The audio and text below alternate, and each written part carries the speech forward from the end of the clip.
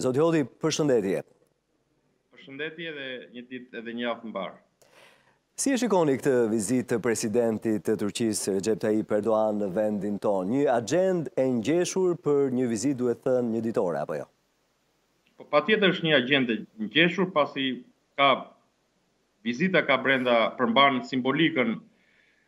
gjeopolitike strategjike si dhe lidhet me ato që quhen investimet ekonomike të Turqisë, pra është i korrespondon fizionomisë së aleancës po e quajmë të kombinuar ndërmjet Turqisë edhe Shqipërisë, pra dhe kjo vizitë po ndodh edhe në një moment kur presidenti Erdogan pozitat e tij të brendshme nuk i ka pas dhe aq të forta pra në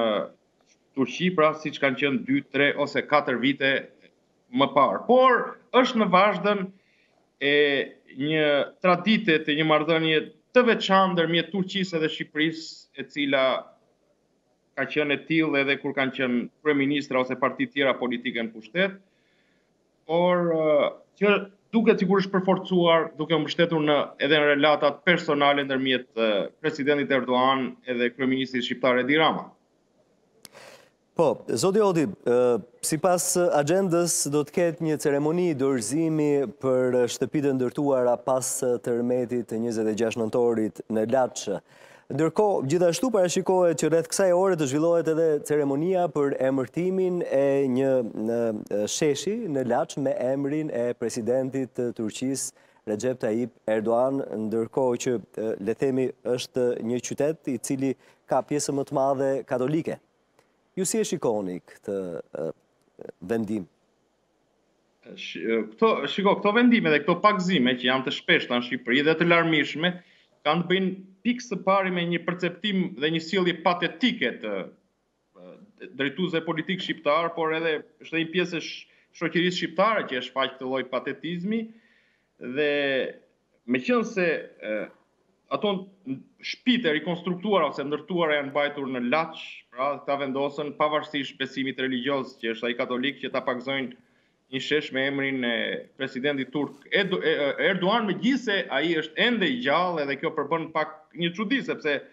në çumi në shumë në shumtën në shumicën e rasteve këto pagëzime, pra emërtime sheshesh rrugësh ndodhin në në në një në një sfond post mortem pra pas ndarjes nga jeta të një lideri. Por Erdoani në një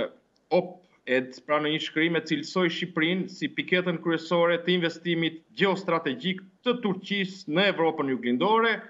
Është e vërtetë që ka një raport të veçantë, është ndërmjet nuk është si një raport i një fizionomie të një perandorie koloniale me një nga ish zotërimet e saj, por është një një një një raport disi specifik i një province të per, një perandorie ë ë që do të thotë që e, komuniteti shqiptar në Turqi, qoftë në kohën e perandorisë otomane ka pas pra poste të larta ka ka pas një kontribut pra në Perandorinë Otomane si dhe ende ka ngelur prezent në Turqi duke mundësuar përforcimin e lidhjeve dhe të aleancës ndërmjet Turqisë Shqipërisë. Kjo aleancë përmban të dy anët, po e quajmë të dy anët e një, e një monede, pasi është e rëndësishme dhe ka qenë e rëndësishme për të garantuar një lloj ekuilibri të Shqipërisë dhe çështjes shqiptare në rajon, por nga ana tjetër,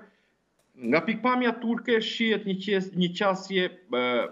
posesiviteti përkundrejt Shqipërisë edhe çështjes shqiptare dhe këtu pastaj merr nuancat e një e një tendence ose një prirje disi të rrezikshme, po ta mbajmë mend edhe mbajmë mend edhe ta mbajmë, domethënë impenjim atë imponimin e Turqisë që Shqipëria të pozicionohej pro saj 7-8 vite ose 10 vite 10 vite më parë në një rezolutë kundër shtetit të Izraelit, që do të ishte një gabim strategjik nëse do ndodhte, për Shqipërinë dhe për çështjen shqiptare, pasi do të gjykohej, etiketohej Shqipëria si një shtet, pra pa diplomaci, një lloj vasaliteti diplomatik dhe nuk do të gjykohej Turqia e cila aktualisht dhe presidenti vetë, presidenti Erdoan, po tenton të hapë pista edhe perspektiva të reja të një marrëdhënie me shtetin e Izraelit. Pra është një aleancë e rëndësishme, jo e rrezikshme për Shqipërinë dhe çështjen shqiptare, por është një aleancë disi ambivalente që ka dhe disa nuanca posesiviteti nga ana e Turqisë përkundrejt Shqipërisë. Dhe këto duhen evituar me një zhdërvjellësi dhe profesionalizëm diplomatik nga ana e Shqipërisë. Po, mëse e qartë, zoti Hoti. Unë të falënderoj për këtë intervistë në Euronews Albania. Të uroj ditë të mbarë. Faleminderit, ditë të mbarë.